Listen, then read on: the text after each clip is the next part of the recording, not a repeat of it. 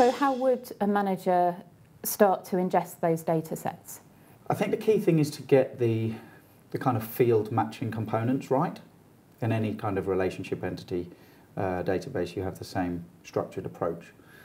I think realistically, depending on the types of data sources, you just need to focus on the centralization of that data so that when you're matching the components, you've got that core dashboard, if you like, so that you're making full use of the data.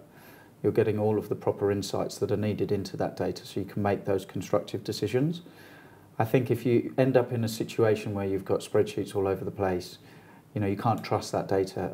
Obviously, you can't make any constructive decisions in that case. So, you know, utilizing data warehousing tools, Snowflake, Azure Blob, Power BI for the dashboards, Tableau, the kind of core, you know, components of giving us that insight and view in an organized structure, that, that's the best way to do it.